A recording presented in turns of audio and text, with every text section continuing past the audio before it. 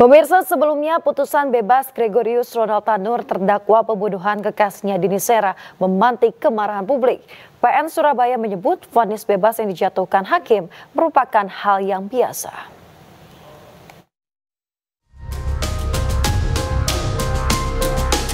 Putusan bebas Gregorius Ronald Tanur, terdakwa pembunuhan kekasihnya Dini Sera Afrianti, memantik kemarahan publik Fonis Majelis Hakim Pengadilan Negeri Surabaya tersebut dinilai janggal dan mencederai rasa keadilan.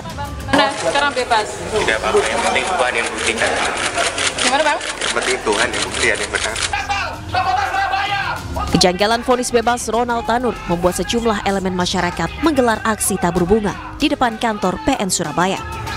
Aksi ini sebagai ungkapan kecewa masyarakat terhadap putusan hakim yang dinilai jauh dari keadilan. Sementara itu tiga hakim yang menjatuhkan vonis bebas kepada Gregorius Ronald Tanur mendatangi kantor pengadilan tinggi Jawa Timur. Namun Erin Tuah Damanik selaku hakim ketua membantah kedatangannya terkait polemik vonis yang dijatuhkannya, melainkan hanya untuk silaturahmi.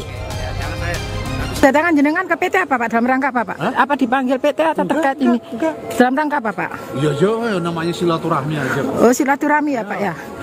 Oh ini Karena KPT itu teman saya satu angkatan. Oh. Pak terkait putusan kemarin tuh gimana Tanya tuh, Mas. Oke siap. Buktinya sudah ada dalam pertimbangan itu semua. Ya. Oke. Menanggapi vonis yang menuai kritik dan kecaman masyarakat, Pengadilan Negeri Surabaya menegaskan tidak bisa menilai atau mengomentari vonis yang telah dijatuhkan hakim karena melanggar kode etik. Ini adalah sesuatu yang biasa. Biasa? Maksudnya bukan biasa apanya? Maksudnya bukan menyepelekan artinya kita bereaksi ini karena memang tidak bisa menyampaikan oh kami sudah melakukan pemeriksaan. Oh kami seperti tuntutan-tuntutan masyarakat sekarang ya. Kami sudah menaktifkan kami belum bisa.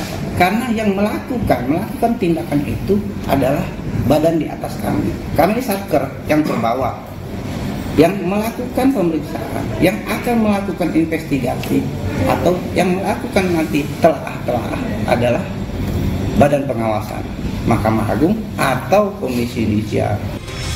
Pengadilan Negeri Surabaya tegaskan tak menyepelekan vonis bebas tersebut, namun pihaknya tak punya wewenang atas vonis yang telah dijatuhkan majelis hakim. Tim Liputan iNews melaporkan.